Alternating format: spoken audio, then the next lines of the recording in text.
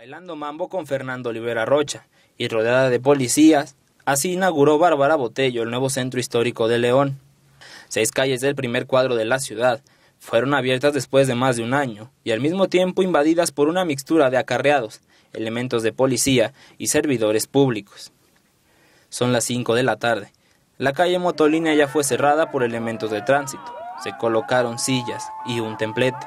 Ahí daba inicio el recorrido de la presidenta municipal por todo el centro. Llegó en una suburban blanca, acompañada del secretario de Turismo de Guanajuato, de Manuel López Santamaría, secretario de Turismo de León, de Luis Fernando Gómez, nuevo secretario de Ayuntamiento, y del director general del Impulso al Financiamiento, Agustín García Villa. Hoy, sus aliados del Partido Verde la dejaron sola y su fiel Martín Ortiz la abandonó en su búsqueda para tratar de ser su descendiente. En cambio, trajo un grupo de personas que con pancartas y banderas moradas gritaron su nombre por más de tres horas, por más de un kilómetro.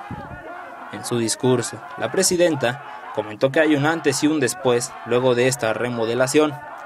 Los volardos, los macetones y la tala de árboles respaldan este argumento. Como fondo, sus seguidores formaron una valla con pancartas que rezaban consignas de apoyo.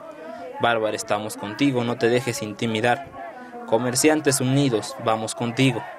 De pronto, un joven identificado como Ricardo Gómez Escalante fue la única voz que se alzó durante el discurso de la presidenta. De entre la muchedumbre apareció el Bolis, un empleado de la tesorería municipal, que hasta el momento la única función que se le conoce es la de agitador. El Bolis intentó callar él solo a Ricardo, y en vista del éxito obtenido, lo empujó en dos ocasiones. En segundos, unos cuantos se despreciaron de la valla y sofocaron la protesta.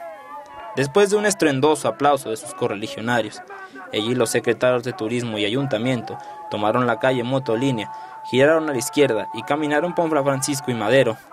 Comenzó el carnaval.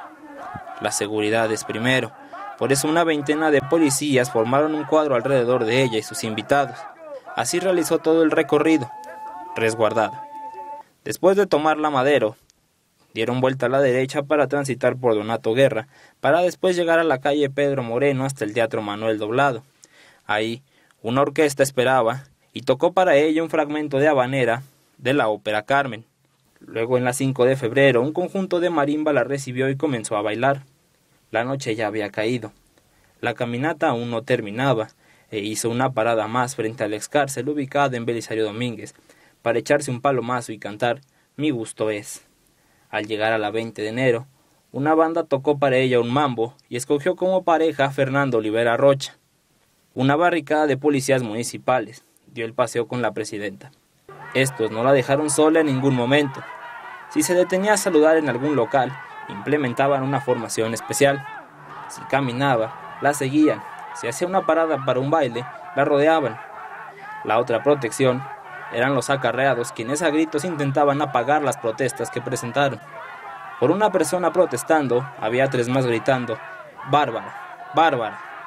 Estas personas gritaron hasta quedarse roncos, corrieron de motolínea a Pedro Moreno para recibirla, se le entregaron totalmente por más de tres horas seguidas, cual porra de equipo de fútbol. Además, un grupo de mojigangas caminaban entre el contingente que poco a poco fue tomando forma de carnaval. Hace una semana, la plaza principal albergó dos manifestaciones, ambas para exigir más seguridad en el municipio. La primera se llevó a cabo el lunes 27 de octubre. Miles de personas marcharon desde el Parque Hidalgo y se congregaron frente del edificio de presidencia municipal. Exigieron a las autoridades que atiendan la problemática de inseguridad que se vive en León. El 29 de octubre, cientos de médicos salieron a las calles a manifestarse luego del asesinato de la médica Paulina Méndez, quien se resistió a un asalto y fue apuñalada. De nueva cuenta, la plaza principal se vio repleta de gente que exigía una ciudad más segura.